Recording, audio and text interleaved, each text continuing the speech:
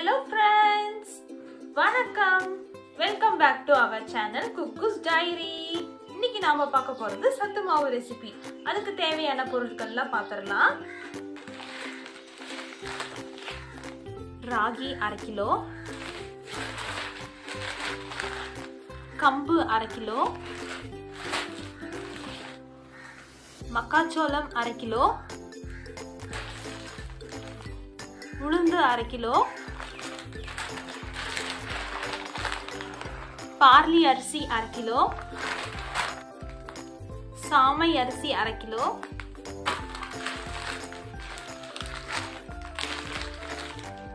சிவப்பு அரிசி அரை கிலோ.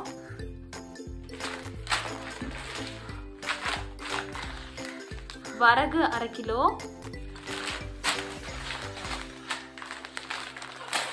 திணை அரை கிலோ. பொட்டுக்கடலை அரை கிலோ. குதிரைவாளி அரை கிலோ. பாசிப்பருப்பு அரை கிலோ. சோயா பீன்ஸ் அரை கிலோ. சிகப்பு சோளம் அரை கிலோ. கோதுமை அரை கிலோ. ஜவ்வரிசி அரை கிலோ. இதெல்லாம் அரை கிலோ எடுத்தனால நாங்கள் முந்திரி பாதாம் பிஸ்தா. இதெல்லாம் நூற்றி ஐம்பது கிராம் எடுத்திருக்கோம்.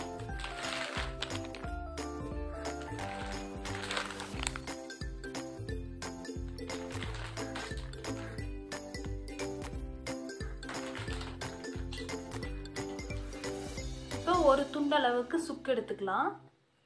அரை கிலோக்கு இதே போதுமான அளவு. இப்போ ஏலக்காய் பதினஞ்சு எடுத்திருக்கோம். இப்போ இத கழுவி காய வச்சு வறுத்து அரைச்சி எடுக்கிறத பார்க்கலாம். வாங்க.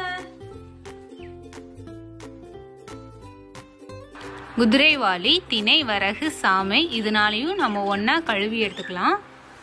ஒவ்வொரு பொருளையும் தனியாக கழுவி எடுத்துக்கிறனாலும் எடுத்துக்கலாம். இல்லைன்னா ஒவ்வொரு பொருளோட சைஸுக்கு தகுந்த மாதிரி நம்ம ஒன்றா சேர்த்து கழிஞ்சு எடுத்துக்கலாம்.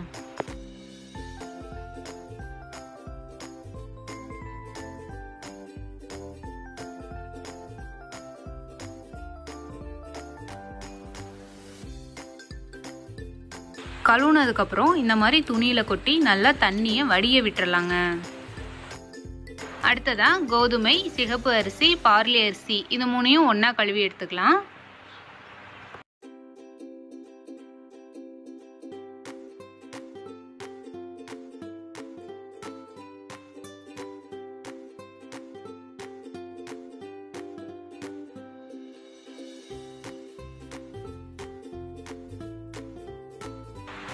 உளுந்தையும் சோயாபீன்ஸையும் ஒன்றா கழுவி எடுத்துக்கலாம்.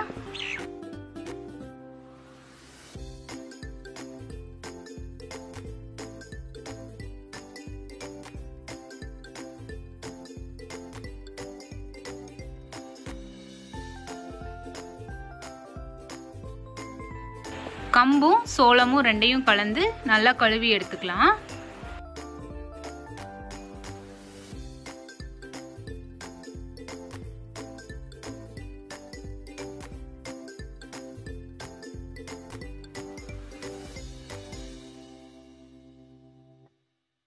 ஆரியத்தை மட்டும் தனியாக கழுவி எடுத்துக்கலாங்க. நல்லா ரெண்டு மூணு வாட்டி தண்ணியில் கழுவி எடுத்துக்கோங்க. அதில் சின்ன சின்ன கல் தூசெல்லாம் நிறையா இருக்கும். நல்லா கழிஞ்சதுக்கப்புறம் அதை நல்லா அரிச்சு எடுத்துக்கோங்க. இந்த மாதிரி ஆட்டி ஆட்டி நம்ம மேலே வர ஆரியத்தை மட்டும் எடுத்துக்கிட்டோம்னா அடியில் கல்லெல்லாம் தங்கிடும். ஜவ்வரிசியை தனியாக கழுவி எடுத்துக்கலாம்.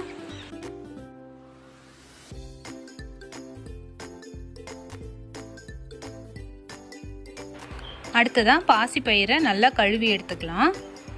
இதுக்கு பதிலாக முழு பயிராக இருந்தாலும் அதையும் நம்ம யூஸ் பண்ணிக்கலாம். இந்த மாதிரி ஒன்றா கொட்டி வச்சிட்டோம்னா தண்ணியெல்லாம் சீக்கிரம் வடிஞ்சிரும். தண்ணி நல்லா வடிஞ்சதுக்கப்புறமா ஒரு துணியிலையோ இல்லைன்னா ஒரு தட்டிலையோ நல்லா காய வச்சு எடுத்துக்கலாம். மக்காச்சோளம் ஒரு நாளைக்கு முன்னாடியே நாங்கள் நல்லா கழுவி காய வச்சு எடுத்துக்கிட்டோம். எல்லா பொருளையும் நம்ம நல்லா பொன்னிறமாக வறுத்து எடுத்துக்கலாம். அப்போ தான் வந்துட்டு மாவு அரைக்கிறப்ப ரொம்ப நல்லா வாசனையாக இருக்கும்.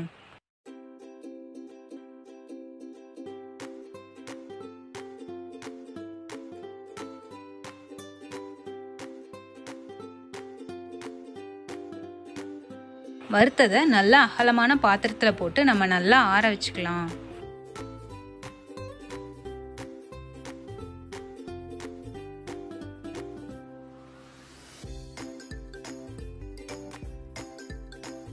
நம்ம பொட்டுக்கடலையே கழுவ தேவையில்லை அதை நம்ம அப்படியே வறுத்து எடுத்துக்கலாம். அதே மாதிரி பாதாம் பிஸ்தா முந்திரி இதையுமே நம்ம வறுத்து எடுத்துக்கலாம்.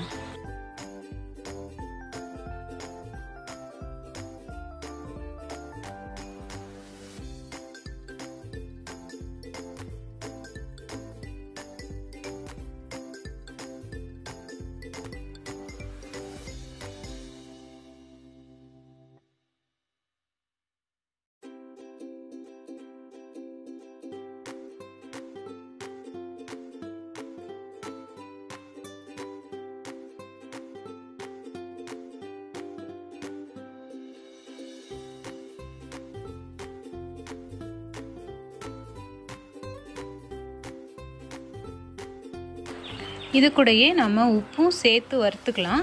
இல்லைன்னா நம்ம கஞ்சி காய்ச்சறப்ப கூட உப்பு போட்டுக்கலாம். நல்லா ஆறுனதுக்கப்புறம் மிஷினில் கொடுத்து நல்லா அரைச்சி எடுத்துக்கலாம்.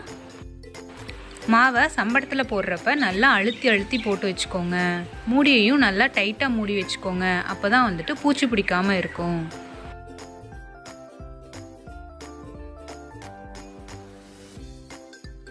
நம்மளோட சத்து மாவு ரெடி ஆயிடுச்சு. இப்போ இதில் எப்படி கஞ்சி காய்ச்சறதுன்னு பார்க்கலாம்.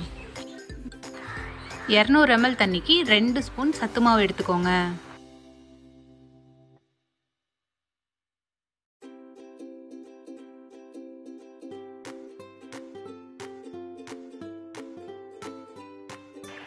கட்டி எதுவும் இல்லாமல் நல்லா மிக்ஸ் பண்ணி விட்டுருங்க. கலந்ததுக்கப்புறமா அடுப்பில் வச்சு நல்லா கொதிக்க விட்டுறலாம்.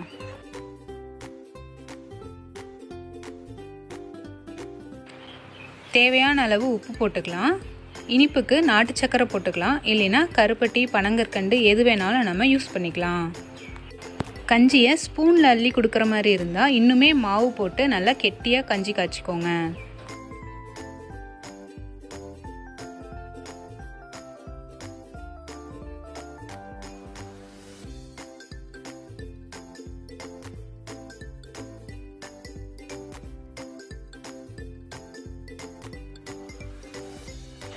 கஞ்சி ரெடி ஆனதுக்கப்புறமா அதை வடித்து எடுத்துக்கலாம். ஏன்னா நாட்டு சர்க்கரையில் ஏதாவது சின்ன தூசெல்லாம் இருக்கும். அதனால் நம்ம நல்லா வடித்து எடுத்துக்கலாம்.